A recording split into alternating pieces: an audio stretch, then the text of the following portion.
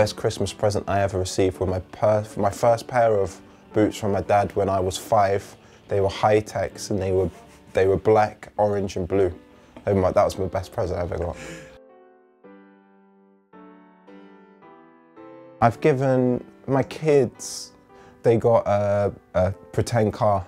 They got a pretend car which you could drive around and that, and they loved that. So I have to chase them up and down the drive, so yeah, that's probably the best Christmas present I've given. I liked Home Alone 2 when he's in New York. That was good. That was a nice Christmas film. That was a better one for me. Uh, yeah, it was a better one. It was nice. Good, good message in that as well. I like the Christmas carols. I like Silent Night. That always gets me in a good mood for Christmas. My granddad makes these croquettes of sausage meat, and it's like the family tradition. Can't have Christmas dinner without them, so that's my favourite part. I would get, hmm, Sone Aluko a voucher for Zara for at least £500 because then he could get himself a decent wardrobe. And then I'd actually get him a voucher as well for like shoot a shoe shop just so he can get some decent trainers as well because I have to sit next to him in training every day and he just makes me feel sick every day.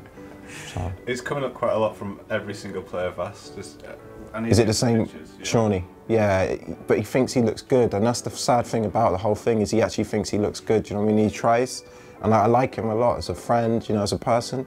But he just, I just want to help him. Do you know what I mean? So if any, if any could donate, if you could donate some money to the Sone Aluko um, Gear Christmas Fund, that that would be a wonderful, wonderful thing you're doing. What else is interesting about this? I think when I asked him, I think he mentioned you and clothing, which is a bit odd. Yeah, well, you know, these people like to deflect away from themselves, you know, and I, if you look at all the interviews, I'm sure the numbers won't lie. So, Sone, please, please donate to the Sone Christmas Gear Fund because it's a sad, sad time of the year, you know, and he's, he's really in need. He's, in need desperately for some new gear, so thank you very much in advance. Yeah, as everyone said, three points on a Saturday. Um, what do I want for Christmas? I just want everyone to, just to get on. Just peace and love in the world. And uh, that would be good for me. That would be enough for me. I don't, I'm not really one for taking presents. I'd rather just give and see the happiness on my kids' face. As long as my kids are happy, I'm, I'm having a good Christmas. Just a smile on the face of everyone in the land. That's it. Just a smile on the face, and I hope everyone has a really good Christmas and an even better New Year. Merry Christmas, Tigers fans, and uh, thank you for your support.